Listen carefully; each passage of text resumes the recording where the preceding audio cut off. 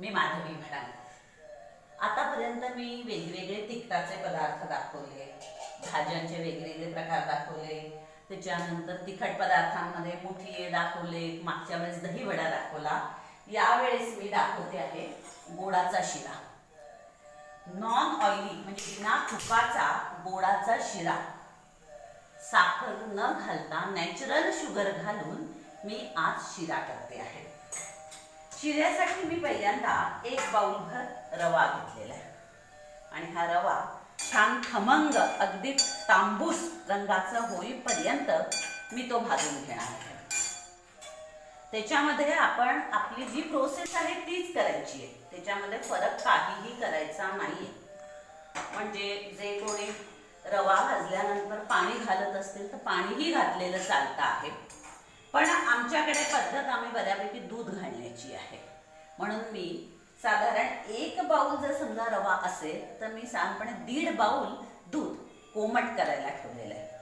गरम मी याच्यासाठी करते आहे कारण मग त्याच्यामुळे रवा शिरा आपला हलका होतो आणि फुलतो पण छान. कारण आपण ही पाणी घालताना गरमच पाणी नेहमी रव्यामध्ये घालतो. आणि म्हणून मी हे दूध गरम करायला ठेवलेलं आहे.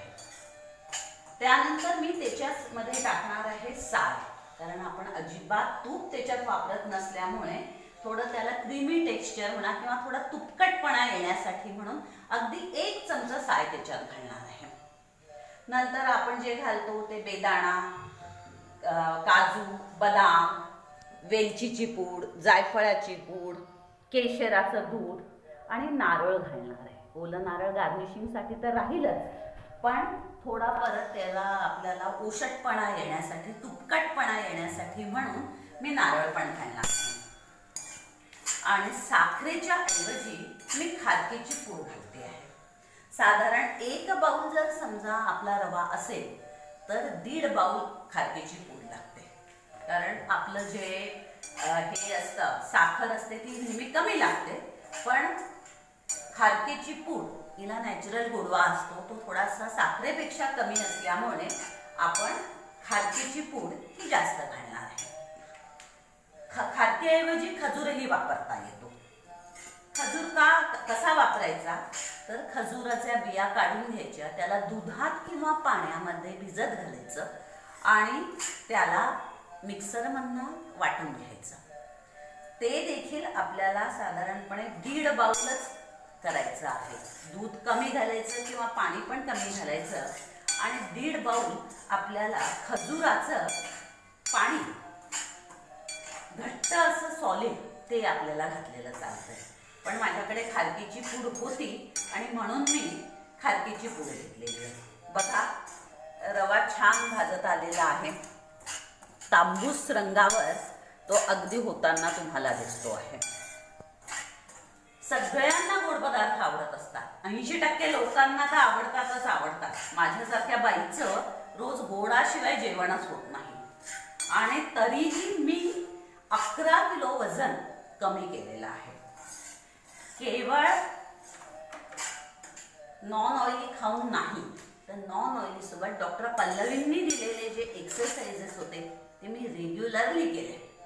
आणि त्यासोबत त्यांनी सांगितलेले टिप्स दिली होती मला सुरुवातीला नॉन ऑर्मीची तर त्याच्यानुसार मग मी हळूहळू हळूहळू पदार्थ तयार करायला लागले आणि त्याच्यातून हे नॉन ऑइली खाणं. मग मी गोडही अगदी व्यवस्थित आता अशा पद्धतीचा केलेला शिरा मला हवा तेवढा मी अगदी सहज खाते. त्याच्यामध्ये मी कुठेही स्वतःला कमी ठेवत नाही. कारण त्याच्यामध्ये त्या मानाने कॅलरीज काहीच नसतात. बघा पूर्ण छान तांबूस रंगावर रवा भाजल्या गेलेला आहे. आता यात मी गरम दूध घालणार ज्या पद्धतीने आपण पाणी घालतो त्याच पद्धतीने आपल्याला दूध घालायचं आहे. दूध कमी असेल तर आपण थोडस पाणी त्यामध्ये घालू पाहिजे किंवा दूधही टाकलं तरीही चालतंय. असं काहीच नाहीये की बा फक्त दूधच घालायचं आहे किंवा पाणी घालायचं नाही. असं मुळीच नाही. दुधाच्या सोबत पाणीही घालू शकतो नुसतंही पाणी चालतं किंवा नुसतंही दूधही चालतं. प्रोसेस आपल्याला अगदी आपण जसा शिरा करतो तशीच करायची आहे. त्याच्यामध्ये काहीही बदल करायचा नाहीये. फक्त आपल्याला रवा जो आहे तो कोरडा भाजून घ्यायचा आहे. त्याच्यामध्ये मी आता एक चमचा साय घालते आहे. कारण त्याच्यात आपण अजिबात तूप न घातल्यामुळे थोडंसं क्रीमी टेक्स्चर येणं गरजेचं आहे. म्हणून थोडीशी साय घातलेली आहे. सोबतच थोडा नारळाचा किस. आणि आता हा मी छान त्याला वाफ येऊ देते आहे कारण दोन ते पाच मिनिटामध्ये त्याला छान वाफ आली. आता या मी केशर घातलेलं दूध घालून देते आहे. केशरी रंग आपोआपच त्याला येणार. काजू. सॉरी बदाम. काजूचे तुकडे.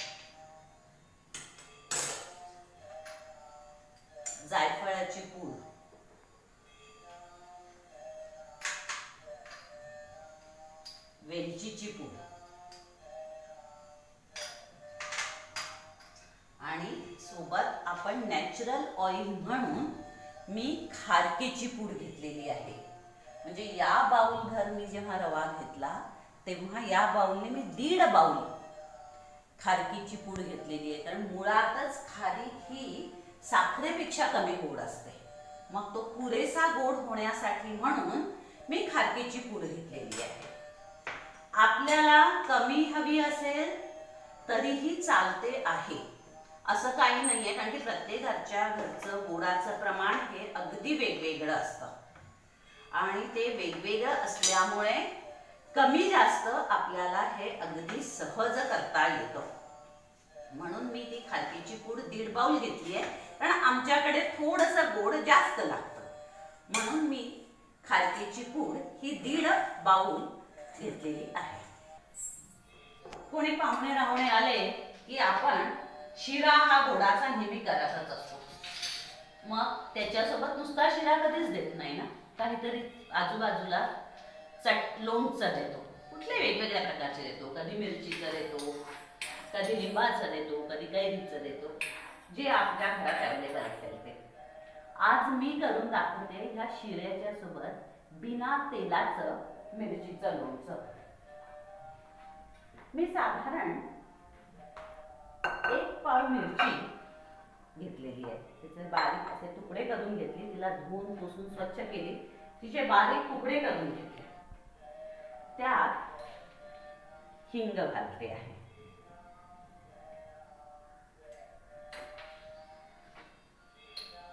मोहरीची डाळ. हे सगळे मसाले आपल्याला आपल्या चवीने कमी जास्त अगदी सहज करता येतात. मोहरीची डाळ घातलेली आहे. तिखट घालण्याचा प्रश्नच नाही कारण मिरची तिखटच असते. हळद.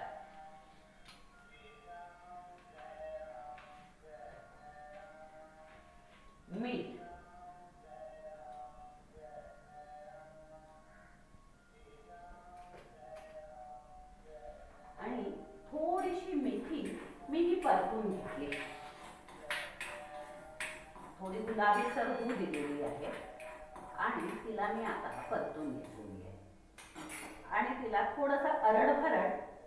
भरड वाटून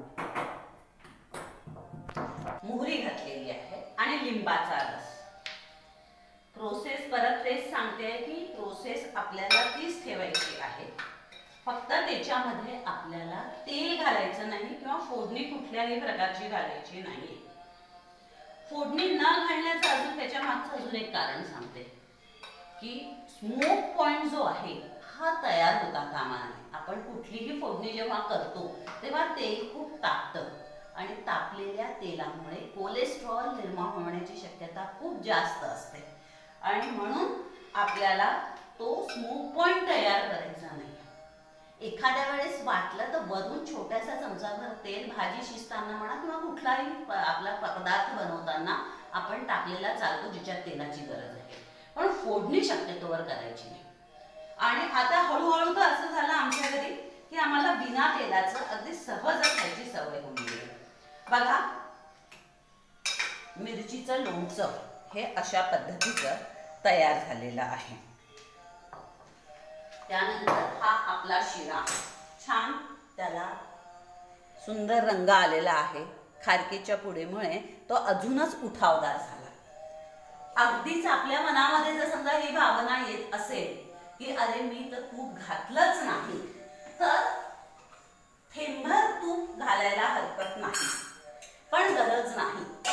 आपण आपल्याला इतकी खूप लहानपणापासून शिरा म्हटल्यानंतर छान चपचप तुपातलाच खाण्याची जी सवय झालेली असते आणि एकदम बिना तुपाचा शिरा म्हटल्यानंतर थोडी असा कसा लागेल ही जर समजा भावना वाटत असेल तर अगदी थेंबर तूप घाला. जास्त तूप घालण्याची गरज नाही एवढं लक्षात ठेवा. आता वेळ आलेली आहे ती आता वेळ आलेली आहे ती आपल्या फिजिओटिकची पायऱ्या उतरतो तर त्या कशा उतरतो? पूर्णपणे कमरेतून झुकतो मान खाली घालतो आणि मग ह्या अशा अशा अशा अशा करत आपण त्या उतरतो. पण पण अशा पद्धतीने पायऱ्या उतरल्या तर मानेलाही त्रास होण्याची शक्यता असते आणि लोअर बॅकलाही त्रास होण्याची शक्यता असते. म्हणून पायऱ्या उतरताना मान सरळ पोट आत घेतलेलं आणि अगदी एक एक एक एक पाऊल आपल्याला उतरायचं आहे. बघा ह्या अशा पद्धतीने मान सरळ पोट आत घेतलेलं. अशा पद्धतीने आपल्याला पायऱ्या उतरायच्या आहेत. पण बरेचदा लोकांना भीती वाटते किंवा तोल जाईल की काय? म्हणून मग दोन्हीही सपोर्ट घेतला तरी चालेल. एकीकडे रेलिंगचा दुसरीकडे भिंतीचा आणि मग पोट आत ओढायचा आहे मान सरळ ठेवायची आहे दोन्हीचाही सपोर्ट घ्यायचा आहे आणि मग आपल्याला उतरायचं आहे.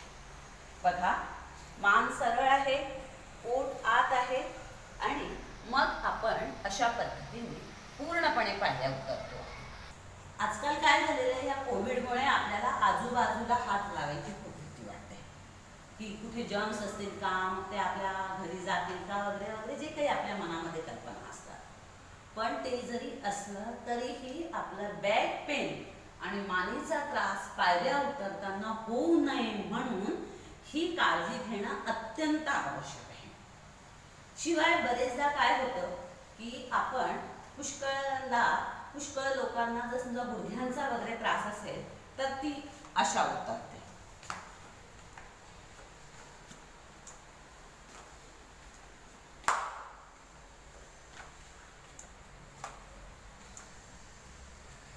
पण अशा पद्धतीनेही पण पायऱ्या उतरायच्या नाहीये कारण त्याच्यामुळे गुडघ्याच्या तिथे अर्धगोलाकार असं बेंड होण्याची शक्यता असते. अर्धगोलाकार भाग तयार होण्याची शक्यता असते. गुडघ्यापासून बेंड होण्याची शक्यता जास्त असते. म्हणून पायऱ्या उतरताना कायम हे लक्षातच ठेवायचं आहे की पोट आत ओढलेलं सपोर्टसाठी आजूबाजूचं घेतलं तरीही चालेल पण अगदी हळू मान सरळ घेऊन अशा पद्धतीनेच आपल्याला पायऱ्या उतरता आल्या पाहिजे. बरेचदा आपले गुडघे दुखत असतात मग आपण वेडं वाकडं होऊन असं असं असं न कुठे पकडता चालतो. त्याच्यामुळे पण त्रास होण्याची शक्यता असते. आणि म्हणून पहिल्यांदा जो आपला पाय दुखत असेल त्याच्या विरुद्ध बाजूचा पाय आपल्याला वर टाकायचा आहे. माझा जर समजा उजवा पाय दुखतो आहे उजवा गुडघा दुखतो आहे तर मी डावा पाय समोर टाकेन आणि मग अगदी हळू हळू हळू हळू हळू चढेल पण मान सरळ पोट आत ओढलेलं कमरेतून आपल्याला न झुकता पायऱ्या चढायच्या आहेत. हे आपल्याला लक्षात ठेवायचं आहे ही आपली आजची फिजिओटी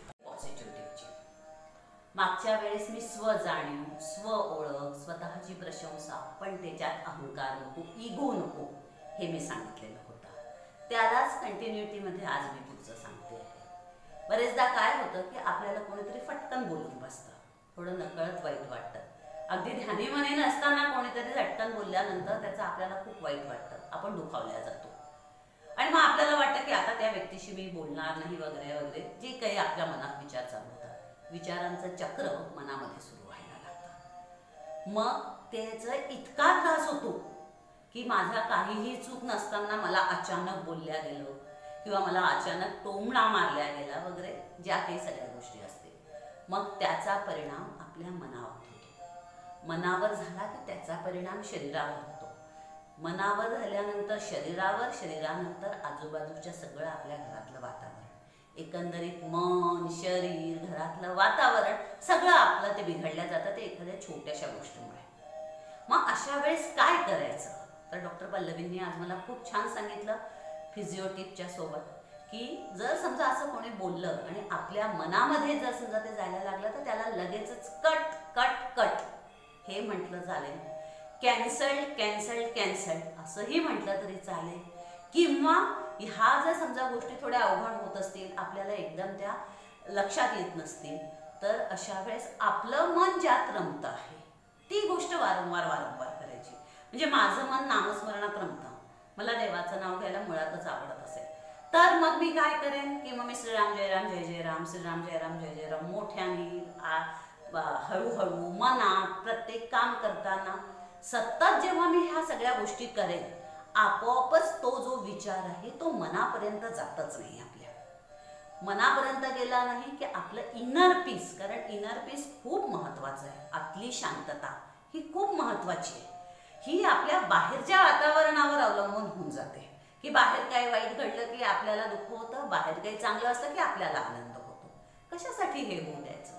बाहेर काही वाईट चांगलं झाल्यानंतर त्याचा आनंद होणं स्वाभाविक आहे ते तो भोगावा आपण पण बाहेर काही वाईट घडल्यानंतर आपला जर समजा आतली शांतता भंग पावत असेल तर ती भंग पावू द्यायची नाही कारण आपण आपला तर एकच मूळ हेतू आहे की सतत आनंदी राहणं.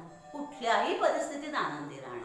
मग अशा वेळेस जर समजा असं काही घडलं तर लगेचच कट कट कट म्हणायचं की नाही तो विचार मला माझ्या मनापर्यंत पोहोचूच द्यायचा नाही आणि मला माझा आतली शांतता विनर पीस मला माझा भंग करायचा नाही पण किंवा कॅन्सल कॅन्सल कॅन्सल असंही म्हटलं तरी चालतंय. पण हे होत नसेल तर आपल्याला ज्या आनंद मिळतो आहे ती गोष्ट वारंवार वारंवार करा. एक दिवस करा एका दिवसातही होत नसेल तर दोन दिवस करा तीन दिवस करा. बघा आपोआप त्या त्या संकटाची जी हे आहे त्या संकट म्हणण्यापेक्षा त्या बोलण्याची जी टोचणी जी मनाला लागते आहे ती टोचणी आपोआप कमी कमी होऊन जाते. ती टोचणी कमी झाली की आपोआप पुढच्या व्यक्तीच्या विषयीचा रागही कमी होऊन जातो. आणि आपली आतली शांतता ढळत नाही. आतली शांतता ढळली नाही की शरीर एकदम तंदुरुस्त. शरीर तंदुरुस्त असलं की घरातलं वातावरण एकदम तंदुरुस्त. ही झाली आजची पॉझिटिव्हिटी की स्व जाणीव स्व ओळख स्व प्रशंसा सोबत आपली आतली शांतता कुठल्याही परिस्थितीत ढळू द्यायची नाही. हे बघा हा त्या बाऊलमध्ये झालेल्या म्हणजे जेथे मी एक बाऊल रवा घेतला होता. त्याचा झालेला हा शिरा. त्याच्यावर गार्निशिंगसाठी म्हणून मी छान ओलं नारळ घालते आहे.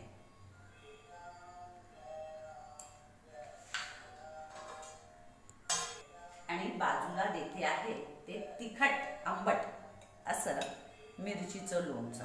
मिरचीचं लोणचं मुरलं की अजून छान लागतं. त्यामुळे ही अशा प्रकारची आजची माझी डिश आहे.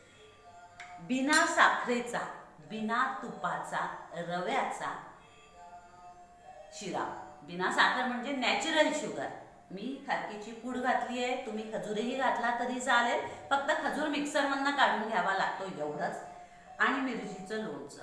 खाताना जराही जाणवत नाही की यामध्ये तूप नाही.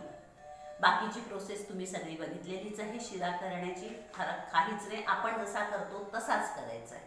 त्यासोबत आजची सांगितलेली फिजिओटिक पायऱ्या कशा उतरल्या पाहिजे? पूर्णपणे झुकून आणि मान खाली घालून पायऱ्या उतरायच्या नाही त्यामुळे कमरेला आणि मानेला त्रास होण्याची शक्यता असते. कशा पद्धतीने उतरायच्या ते मी फिजिओटिकमध्ये सांगितलं आहे आणि ह्याच्या सोबत इनर पीस आपली आतली शांतता कुठल्याही परिस्थितीत ढळू द्यायची नाही कमी होऊ द्यायची नाही. कोणी आपल्याला बोललं काय टोमणा मारला काय काही फरक पडत नाही. ती आतली शांतता ही कायमच ठेवता येते. पण त्यासाठी काय करायचं हे मी पॉझिटिव्ह टिपमध्ये सांगितलेलंच आहे. म्हणून हा असा शिरा पायऱ्या कशा उतरायच्या ते सांगितलं आणि ही पॉझिटिव्ह टीप हे जर समजा अशा पद्धतीचं आपलं त्रिकूट जर समजा आपण तयार केलं तर आपलं शरीर उत्तम राहतं. काहीही फरक पडत नाही. चेहऱ्यावर कायम आनंद राहतं. शरीर मस्त तंदुरुस्त राहतं. काही कुठलेही आजार होत नाही आणि काही होत नाही. आणि कोलेस्ट्रॉल वगैरे ज्यांना असतं त्यांना असं वाटत असतं की अरे बापरे किंवा ज्यांना शुगर असते त्यांनाही वाटत असतं की अरे बापरे मी गोड कसं खाऊ? पण अशा पद्धतीचा शिरा केल्यानंतर अगदी एक घास घेण्याची गरज नाही. तुम्ही अर्धी वाटी शिरा अगदी आनंदात खाऊ शकता कारण त्याच्यात कुठल्याच कॅलरीज नाही आणि मग मनामध्ये कुठलीही धाकधूक खातानाही राहणार नाही पायऱ्या उतरताना राहणार नाही कारण आपण सेफर साईडला चाललेलो आहोत म्हणून. आणि पॉझिटिव्ह टीप जी सांगितलेली आहे की आपली आतली शांतता ढळू द्यायची नाही. हेही ठेवलं की आपण तंदुरुस्त नाही राहणार तर काय राहणार?